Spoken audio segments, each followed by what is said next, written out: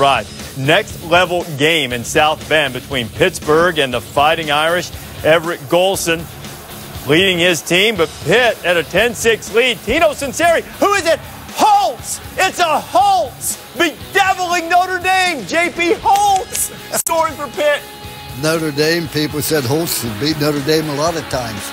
This was a great play by K'Waun Williams. He was called for pass interference, and it was a brutal call. It was on fourth down. Pitt should have gotten the ball back. Notre Dame took advantage. T.J. Jones. And a terrific job of execution there on the quick screen. T.J. Jones takes it in for a score. That was a terrific call by head coach Brian Kelly. Now in a 20 to 12 game. Williams, who had been called for interference, picks it off in the end zone, and it looks as if Pitt was going to get out of there, but they couldn't capitalize on the turnover. Look at the great offensive line protection. DaVaris Daniels, Golson finds it. And now Notre Dame's on the doorstep, down eight and trying to save itself. And Golson scrambling and finding Theodore Riddick. Well, this is his feet keeps this play alive. Golson put Notre Dame on his back and carried that football team. But he still needs another play. They're still down two. 2.11 to go. Everett looking, looking, wants to throw. Now he doesn't want to throw anymore. Stretching, and he's in there, and we're tied at 20. Both teams would trade field goals in the first overtime, so we go to the second overtime. Here's the game winner, uh, except it's not. Cierre Wood fumbled. Pitt gets it, and now Kevin Harper, terrific kicker for the Panthers, 33 yards to win it. Mm. The ghost of Rockne blew it just outside the upright, and now Golson goes back to work to Riddick. And just a great protection there. The offensive line from Notre Dame was outstanding in their protection. And they did just enough to get Golson in. Manti Te'o and the Irish remain undefeated, winning in triple OT we did not play as well as we needed to. We had key turnovers. We didn't fit plays the way we fit. We didn't tackle as well.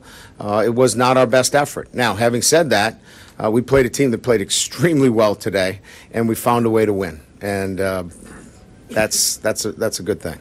Will you be pulling for USC, uh, LSU, or Oklahoma State at all tonight? I mean, uh, uh, maybe I should say the politically correct. Yes, you know, we really hope that I don't really care about that stuff. And everybody says I should care. I care about my football team. I care about the, the getting better. Um, we're, we're, we're really just focused on ourselves. We can't worry about all those other things.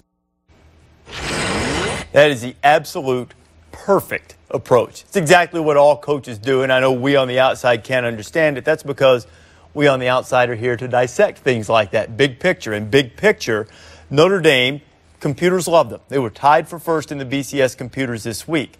They need help in the votes. They need to close some of the gap in the votes against Oregon, against Kansas State, particularly against Oregon.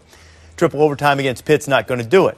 But the thing that will help them and will help them for the future finding a way to win behind that young quarterback, Everett Golson, who was really the key to the game. And a lot of times to win championships, you have to win ugly. They won ugly today. Their backs were against the wall. They found a way to win. But Everett Golson carried this team on his back. He rushed for 74 yards in this game. The majority of it was in the second half. But the key was he kept plays alive in the pocket with his feet. He moved around in the pocket, kept plays alive, ran the ball when he had to, threw the ball down the field. A quarterback that does that, that can keep plays alive, you can always win with a young quarterback like that. And he did that today when they had to have it because there are situations in that game. If he doesn't keep the play alive, throw the ball, run the ball, Notre Dame's in big time trouble in this game because they were behind this game. I thought Pitt played outstanding football, but it also became obvious they just don't have the foot speed on defense. They couldn't get pressure on Golson, and they couldn't keep him from running. He made all the critical plays on that. And if you win a championship, you got to be lucky sometime.